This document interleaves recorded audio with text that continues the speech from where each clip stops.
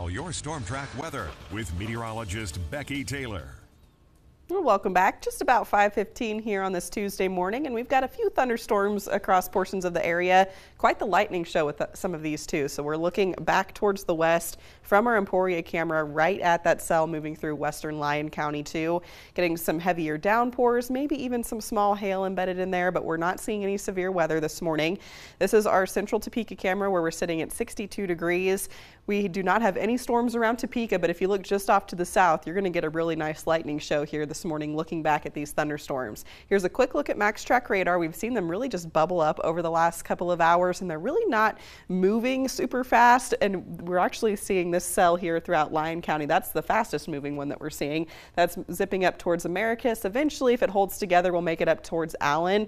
But some of these storms throughout Coffey and Anderson County, they're kind of just dumping over the same spot. So you're getting some pretty decent downpour downpours just to the south of Waverly and in between Ozark and Garnett this morning.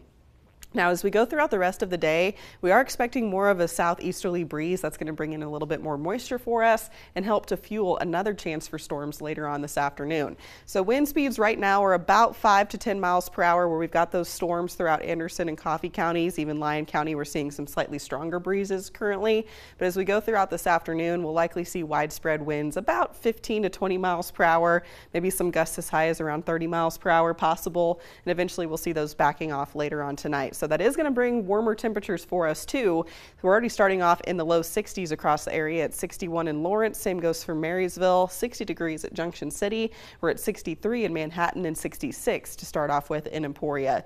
Later today, we'll likely warm up into the mid, maybe even some upper 80s right before our next chance for thunderstorms arrives later on today. And then we'll see our numbers falling back into the low 60s tonight. More 80s on the way for Wednesday, but we may be just a few degrees cooler just with some extra cloud cover around.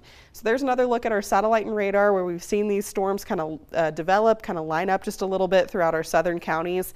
Not expecting severe weather this morning, but by the time we get to this afternoon, we could see that second round of storms coming in, and that's the one that could feature those strong to severe thunderstorms.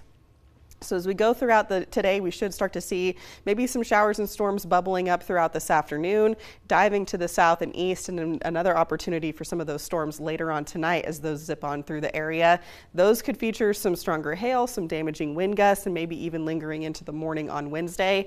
Another chance to see some showers and storms bubbling up throughout the afternoon and evening on Wednesday, and then again as we go throughout the daytime on Thursday. So we're still getting a lot of model variability over the last couple of days and that's lingering into parts of the last half of the week too, which makes it kind of hard to nail down our exact storm chances, timing of that. But later on today, just know that the main threats that we could see would be some larger hail, some gusty winds across portions of the area, certainly some heavier downpours if we can get into one of those thunderstorms here across the area. But we do have a chance for storms pretty much each and every day for the rest of the week. Just know that at any time we could see some of those storms become strong or even severe. So just keep it here. We'll keep you updated as we go throughout the next next several days. Temperatures, though, do stay very warm. We'll be in those 80s all throughout the first part of the weekend. We do cool down a little bit Sunday into Monday.